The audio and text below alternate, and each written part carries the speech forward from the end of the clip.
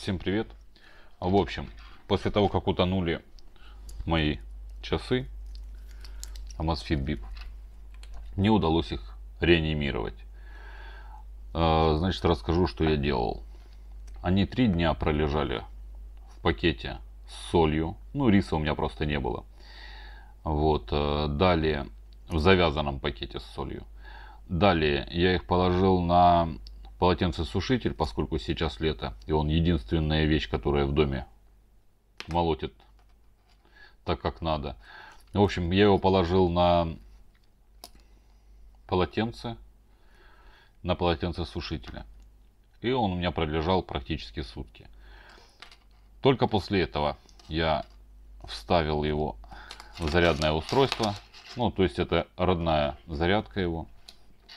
Вставил, подключил питанию. И он зарядился. Зарядился довольно-таки быстро.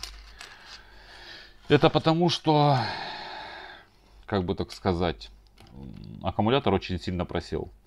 Три года и шесть месяцев он работал, э, скажем так, в таком режиме 45 дней минимум я заряжал часы, то сейчас ситуация в корне поменялась. А именно, если мы посмотрим, сколько отработал на этом заряде, вот сейчас уже осталось 5%, то ситуация очень плачевная с этими часами. Итак, у нас здесь...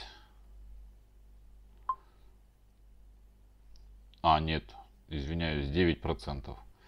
Последняя зарядка 10 дней назад. Но это тоже не впечатляет.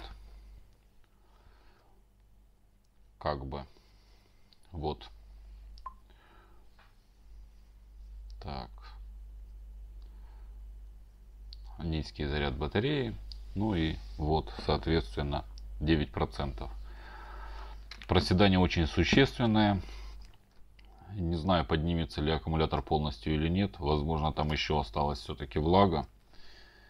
Но новые часы покупать не очень сильно хочется, так как ценник на них, ну скажем так, впечатляющий.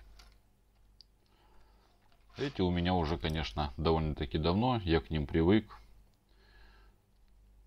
На экране есть мелкие царапки за все это время использования. Защитных пленок я на него не надевал. Но, в принципе, 3 года и 6 месяцев это тоже срок большой. Так что будьте бдительны, не купайтесь в этих часах, особенно в море. Если у вас тоже довольно-таки большой срок данного агрегата, возможно тоже где-то резинка на маховике уже потрескалась и может пропускать влагу. Ну, в общем, как-то так. Они живые полностью, они меряют пульс, они шаги меряют, они полностью в рабочем состоянии. Единственное, что аккумулятор. Поменять аккумулятор, это, конечно, будет проблема, так как в данных часах вот здесь вот просто, насколько я знаю, заплавляется сам экранчик, а не на клею стоит. Может быть там под каким-то давлением, ну точно я не знаю этого. Знаю лишь одно, что поменять батарейку будет довольно-таки проблематично. Ну и, соответственно, ценник за работу, кто сколько возьмет, плюс батарейка.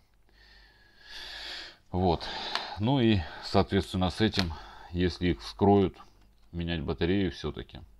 Возможно, там где-то найдут еще остатки воды, какие-то проблемы.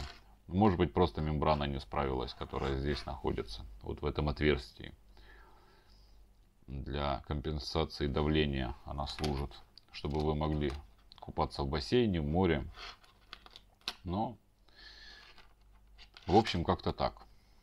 Часы полностью рабочие, они синхронизируются. Вот, единственное, что аккумулятор нужно будет заряжать на них теперь каждые 10 дней. Ну, там 10-12 дней. А это совсем не то, что мне нужно.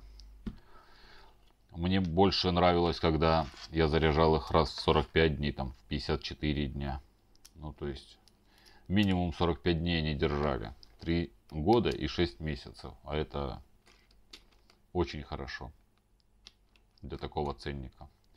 В общем, как-то так. Может быть, кого-то это видео предостережет от каких-то купаний необдуманных действий. И вы сохраните свой гаджет довольно-таки долгое протяженное время.